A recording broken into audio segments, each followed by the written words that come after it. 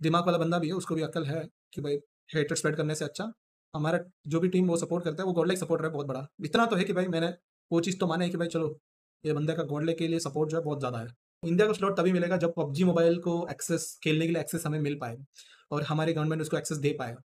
तब तक अगर ये चीज़ सॉर्ट आउट नहीं हो रहा तो भाई इंडिया को स्लॉट मिलना मुश्किल है और ना ही मिलने वाला है फिर तो।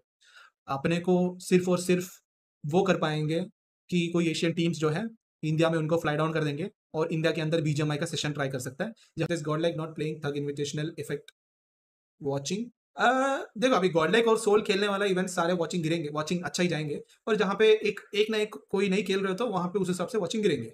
ओजी इज़ नॉट प्लेइंग पता नहीं ब्रो आई मीन अभी तो भाई, मुझे बता भाई दो तीन लाख का, दस लाख का टूर्नामेंट खेल के किसको क्या मिलने वाला है bro better to avoid these tournament take some rest players को अगर यू नो जाने देना तो वो भी देना दस लाख का टूर्नामेंट बीस लाख का टूर्नामेंट चल रहा है कम्युनिटी में और प्लेयर्स हायर हायर करके उस दस, बीस लाख का टूर्नामेंट के लिए तुम सैलरी प्रोवाइड करते रहो। आई डोंट थिंक सो आपके पास भी फ्री का पैसा देने के लिए, ऐसे कम्युनिटी में डालने के लिए तो नहीं होगा।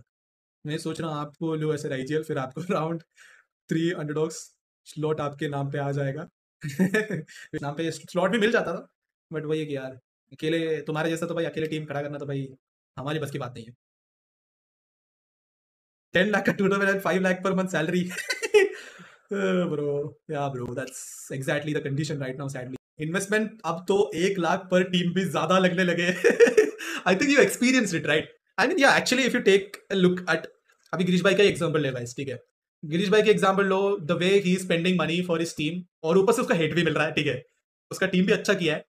And steam right now P M P S pro series में टॉप फाइव की लिस्टिंग के अंदर आ चुका है. सो इफ़ यू सी कि भाई टी डब्ल्यू का नाम अगर देखा जाए तो अभी बीएमपीएस का प्रो सीरीज़ का प्रो सीरीज़ में टॉप फाइव का नाम आ चुका है. बट स्टिल उस टॉप फाइव आने के बावजूद भी कितना ही पैसा कमा लिया ऐसा दो करोड़ में तो मेरे घर आ जाते हैं. लोग तो टूर्नामेंट करा रहे हैं. उन लोगों के लिए वो फीलिंग आता है बट उनको वो नहीं समझ में आता है. इन द एंड मैं उनको पूरा सच्चाई नहीं बताते कि भाई ऑर्गेनाइजेशन के हाथों में क्या आता है.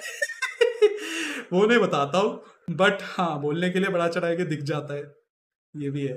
अब उनको समझ में नहीं आता वो चीज़। और वही चीज़ है भाई, आधा इंडस्ट्री तो वैसे ही है। आधे लोगों को थोड़ा बहुत तो क्लिक हो जाता है, बाकी लोगों को कुछ नहीं आता है।